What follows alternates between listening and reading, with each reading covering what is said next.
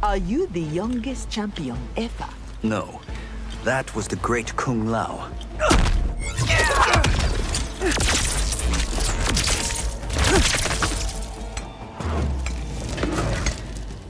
Finish